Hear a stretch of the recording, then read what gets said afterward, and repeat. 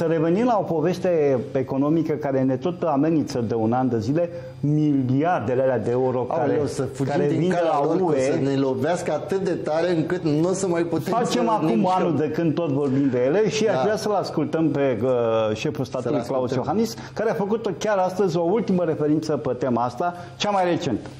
De la Situația, după părerea mea, este destul de bună, având în vedere că noi avem un plan național de redresare și reziliență finalizat, l-am depus și cred că aceste discuții cu Comisia sunt foarte benefice. Pot să vă spun și de ce.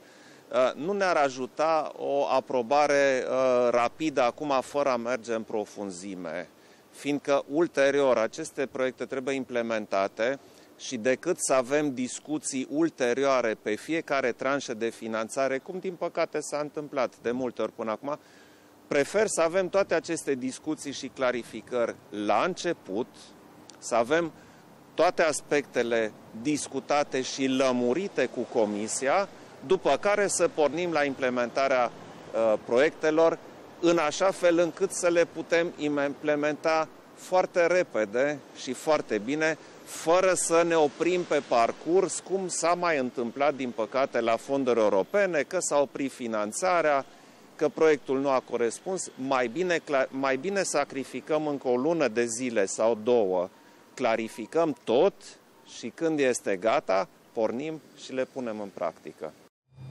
Deci, trebuie să clarificăm tot. Asta e o poveste, repet, care vine peste noi ca un tăvăluc, cel puțin în cuvinte, de aproape un an și noi încă nu știm dacă ne-am făcut cum trebuie elecțiile, părerea mea.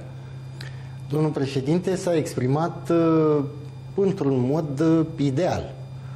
Treaba cu clarificatul tot, nu ai cum să o faci. Ce să Clarificăm clarifici? tot. Tu ai trimis N-ai acolo ce niște clarifica. lucruri, ăia să uită și vor spune dacă sunt sau nu de acord cu ce ai propus tu. Matematica este simplă și aceeași și pentru noi și pentru cei din Comisia Europeană. Da?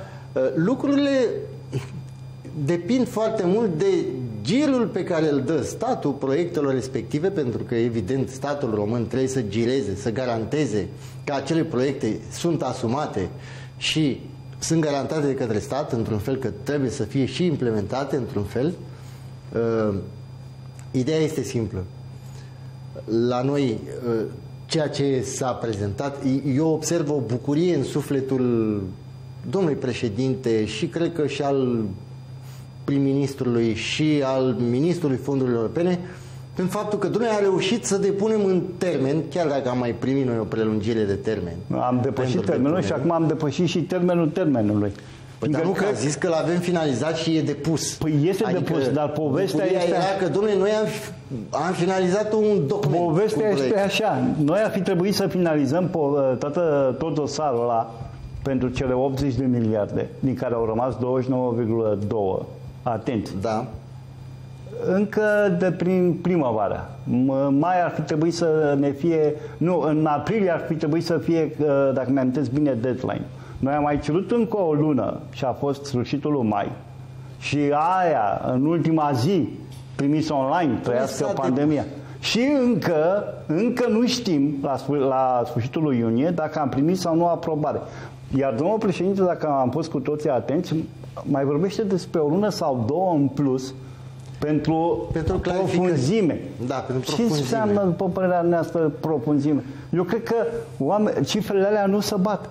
Eu cred că mintea ăstora ai noștri de la București care au făcut uh, planul e departe de mintea celor care citesc PNRR-ul ăla și își pun întrebări probabil diferite.